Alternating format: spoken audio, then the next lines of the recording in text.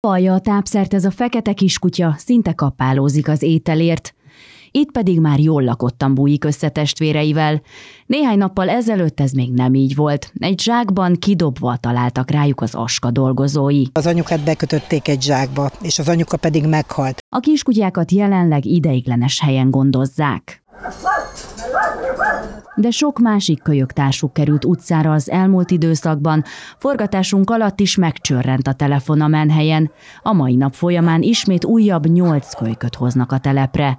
Ellátásukhoz azonban segítségre van szükség, ehhez éppen a legjobbkor jött a nemrég elnyert támogatás. A Betlen Gábor Alapítványnak az éves pályázatát írták ki ismét. 10 millió forint volt a maximális keret, amire lehetett pályázni. Természetesen megcéloztuk mind a, mind a 10 milliót, hiszen e, tudjuk jól, hogy nálunk rengeteg a sérült és a beteg kutya, tehát a mi orvosi költségeink valóban az egekbe rugnak.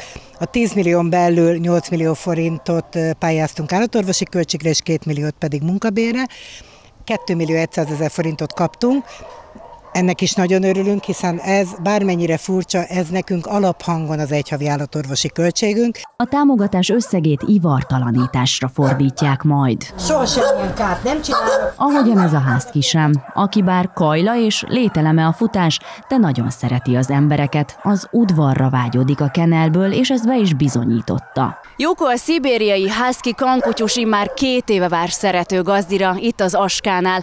Azt egyébként érdemes tudni róla, hogy nagyon nagy a mozgásigénye. Ezt az előbb meg is mutatta nekünk, nem véletlen van velünk itt kint az udvaron. A menhelyen egyébként jelenleg is szükség van fertőtlenítőszerekre, kéztörlőre, tápszerre és kutyapelenkára, no meg természetesen a felelősség teljes gazdajelöltekre.